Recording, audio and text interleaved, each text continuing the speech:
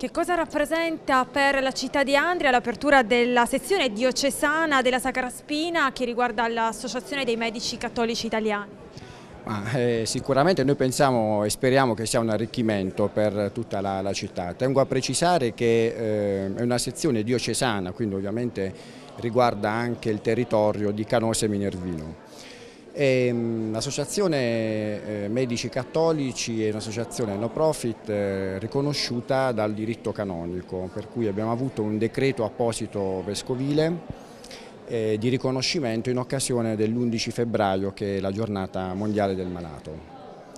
ci proponiamo di portare avanti le tematiche importanti nel campo della sanità, ma non soltanto della sanità,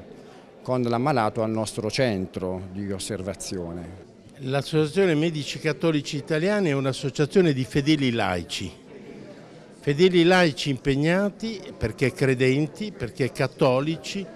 perché medici, perché eh, desiderano improntare la loro azione, la loro azione clinica, la loro azione medica ai principi della fede cristiana, del sostegno alla sofferenza, dell'aiuto alle fragilità,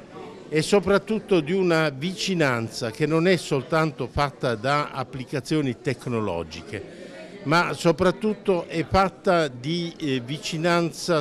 spirituale e umana, in un momento in cui eh, direi la sanità italiana va un momentino insterilendosi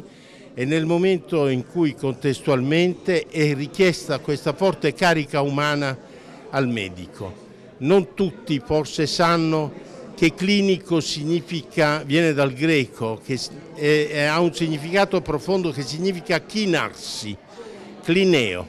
chinarsi sul malato. Significa questo abbracciare il malato come persona, non come organo ammalato, non come semplice malattia di un settore, ma come persona. Il territorio regionale si arricchisce di una nuova sezione che riguarda l'Associazione Medici Cattolici Italiani.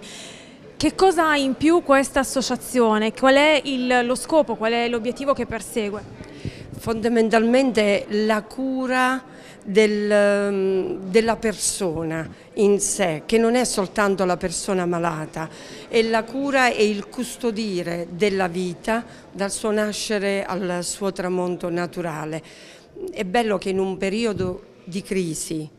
di valori, dove di solito nascono tutt'altre associazioni, un gruppo di medici e soprattutto quelli un po' più giovani hanno fortemente voluto la nascita di questa sezione. Questo significa che c'è fortemente chi crede nell'uomo, crede nell'amore per l'uomo e crede soprattutto nel recupero di un valore della salute che è diverso da quello che viene inteso come diritto alla salute